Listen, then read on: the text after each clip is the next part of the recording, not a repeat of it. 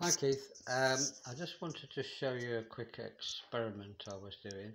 Um, my the hub using the uh, Xiao ESP32C3 or whatever it is called uh, is has been really good. Um, but I thought, well, why not go back to the old? Is it going to focus? ESP um, 8266 module, the one we use for a single relay because I know it can drive, well I was told it could drive I2C, um, uh, sorry, I squared C. Um, so I've got it wired up here with similar software to the uh, PWM module um, and it's running the hub software modified to make it work with the 2866 because it's not quite the same.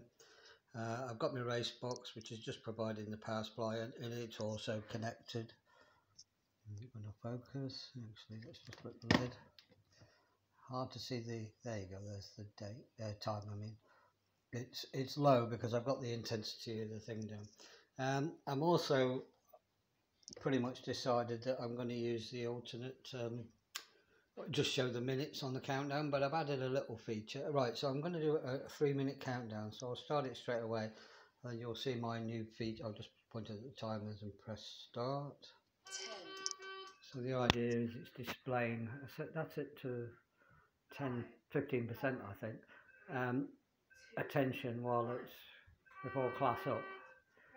And now it's showing um, three minutes. It's still burning out even at that low setting. Well, what can you do? So I'll, just let it go down. So what it's going to do is um, go three, two, and then it doesn't go one because it will jump into the seconds, which it which you've seen before, I think. Anyway, I'll just let it go down. Uh, so it shows that um, you can use a, a, a, just a cheap and nasty, well, cheap anyway, 2866 as the hub uh, and control the timer.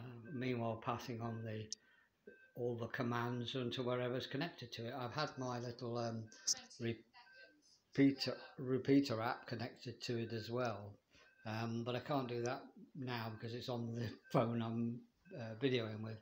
So meanwhile, on the race box, we're at. Um, I'd like to focus on that. Five, we're four, at uh, three, two, about to go prep up.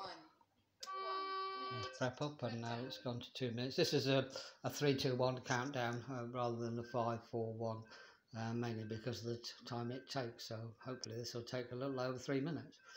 So uh, we're on two, as usual.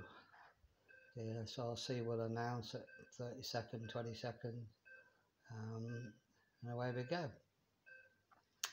What else can I tell you while I'm waiting? Uh. I've done a, a non-Wi-Fi uh, timer version. Uh, I've called it DSST uh, start timer or whatever and it just purely does uses the custom count, countdown so you can set whatever countdown you want, just a single start.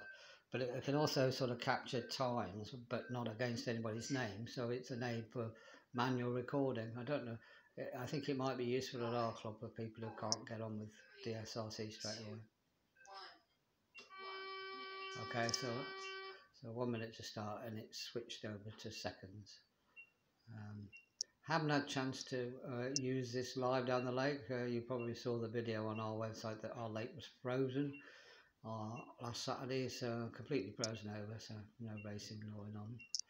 Um, we are due to race on Christmas Eve, so if I get chance, I'll, uh, I'll set it up then. I'd like some comments back from the users, whether it's uh, completely visible or not. Um, I'm probably not even going to try the uh, second digit segmentation because it uh, I think it's confusing more than more than useful. And in a race, normal race, you'd only get a one minute or two minute flag or whatever if you get flags at all. Ten. Go down to one digit now.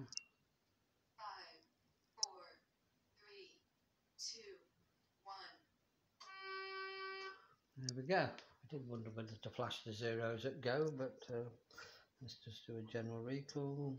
It shows nothing on the timer, of course, it's just flashing over here as normal. And do a clear. Hmm. Okay. Right, that's it. So, Uh, I'm I'm going to use the Xiao, but I, I I just wanted to prove that this would work in case somebody just wants to do it that way. Okay, take care. Have a good Christmas and New Year.